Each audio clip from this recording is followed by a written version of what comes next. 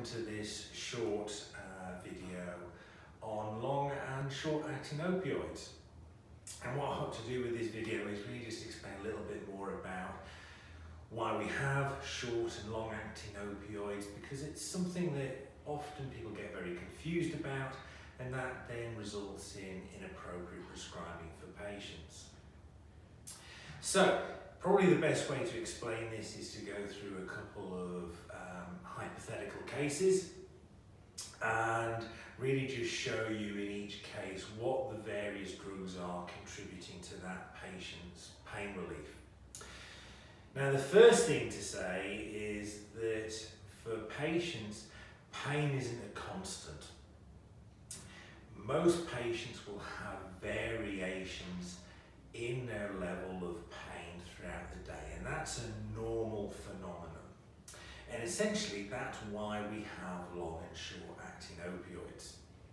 So let's just sort of um, take an illustration and let's take a patient where if we draw a graph and uh, on the y-axis is their pain intensity.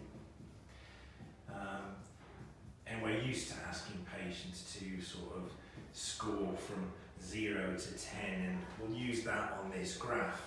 And then if we sort of on the x-axis have time throughout the day. Now, for a typical patient, what we might see is that their pain intensity sort of throughout the day does this kind of thing.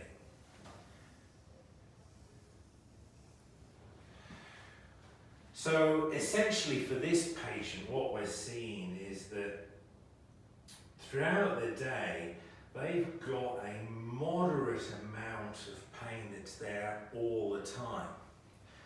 But on top of that, at various points in the day, they get these peaks of pain. And that's normal. Um, for a lot of patients, you know, a peak of pain might happen first thing in the morning when they're getting up out of bed. And this might be when they're doing something particularly active throughout the day. Um, but this sort of pattern is, is fairly typical uh, of what we see for most patients. Now, what long and short acting opioids do is try and tailor the patient's pain relief to this variation in pain levels that we see patients having throughout the day. So to take a long acting opioid uh, preparation, so for instance MS Contin or Oxycontin, if you put the patient on that regularly, what they've got is they've got a long-acting opioid that's going to stay in their system um, throughout the day. And what you would hope that happens is that that kind of sort of takes care of this background pain and manages to analgese the patient for most of their pain throughout the day. But what you don't do with that is you can't take care of these sort of peaks of pain that occur through the day. And that's why we have short-acting opioids. Those are opioids like uh, or Endone. And what they do is they get into your system fairly quickly, within about 10 or 15 minutes, and give you a boost of analgesia that hopefully takes care of these peak episodes.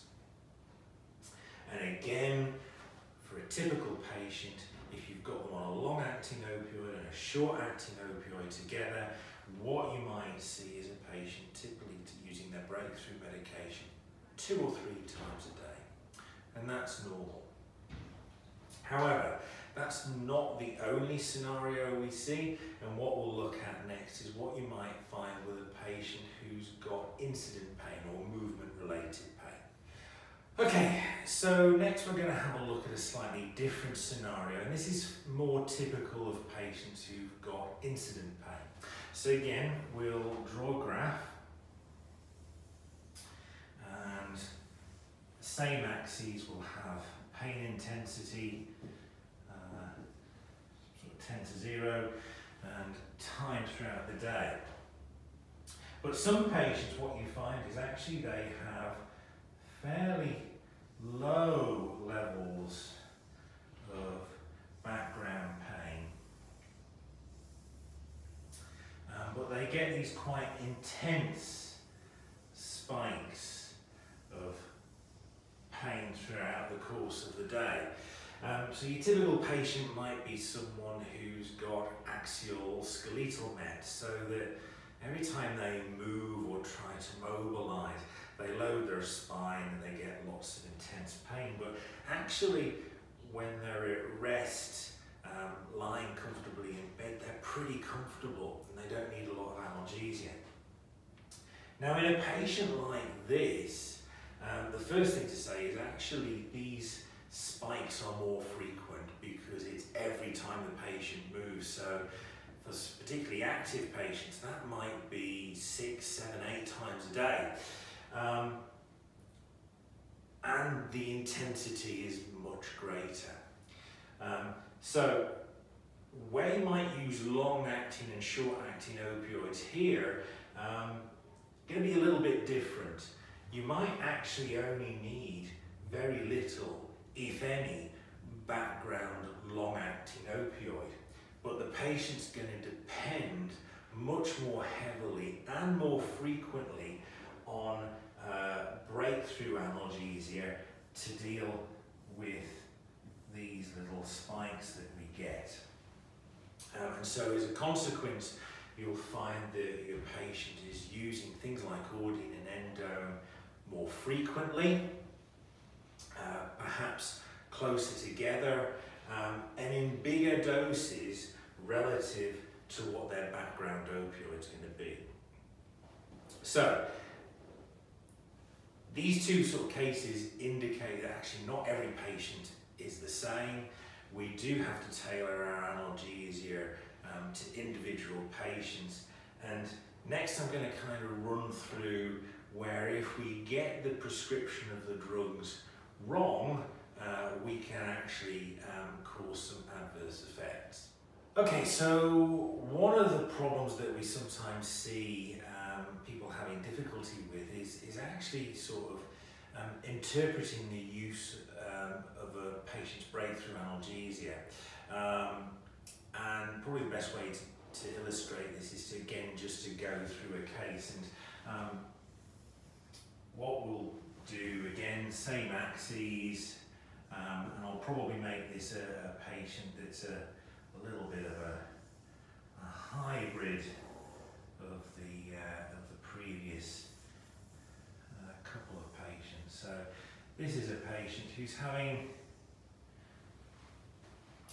a few different uh, pain episodes uh, through the day of various intensities. Now, sometimes what we see um, prescribers doing in error is looking at the patient's use of breakthrough and they look at the pain chart or they look at the, the drug cardex and they see that this patient has had um, you know, five episodes of extra analgesia. And the mistake that often gets made is that that's interpreted that that's not satisfactory or that that's somehow a failure of the patient's analgesia, uh, even if they're taking you know appropriate short-acting opioid here and they've got you know a moderate amount of background opioid that's taking care of, of all this background pain. But they look at that and they think that's not good enough. I need to do something more to get the patient better analgesia. In effect, trying to sort of see if they can get rid of these breakthrough episodes. And often what people do then is they increase the background analgesia. So whereas we're sort of here, they'll increase the analgesia to this sort of level which does happen to sort of knock out a couple of these more intense episodes. It doesn't get rid of them all. And what you then see is that you've got background analgesia that is actually surplus to requirements for these episodes throughout the day. The patient's actually getting more opioid than they actually need for analgesia um, the vast majority of the time. But what you then see is we get into this sort of vicious circle where, again, there's still some breakthroughs needed and, and we're trying to get rid of those and we put the background up again. And we actually make the situation even worse because now we've got loads more background analgesia than we need most of the time. And the result of that is that you end up making the patient opioid toxic, they become drowsy, they get all the side effects, hallucinations, they become agitated. That sometimes then feeds into the belief, because the patient's still having some episodes of pain and they're getting agitated, but their pain's getting even worse and we need to increase the background analgesia again. And we just get into this vicious circle of over-prescribing opioids. So the key to this is to understand that actually don't interpret a patient needing breakthrough analgesia as a failure uh, or that it's something that we've got to get rid of. Um, what we need to be using is long-acting opioids in the background and short-acting opioids with a frequency that's appropriate for the patient's pain. And if that's okay, then we've got things right. Okay, I hope you've enjoyed this uh, short video and um, look forward to seeing you for some more short clips.